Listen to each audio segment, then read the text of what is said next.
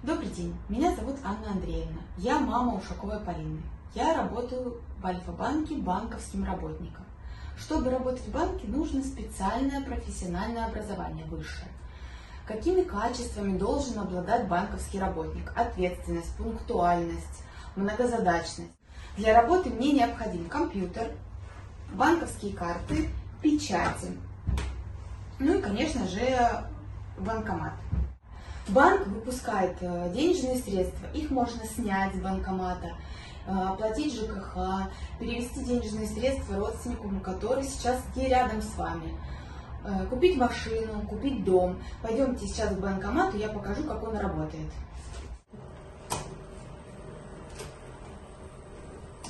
Покажу, как работает банкомат.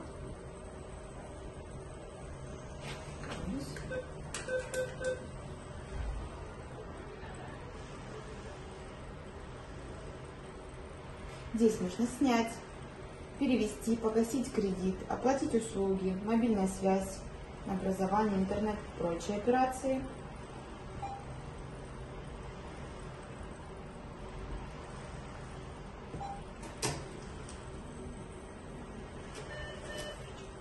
От моей работы зависит устойчивость банковской системы и экономики государства в целом.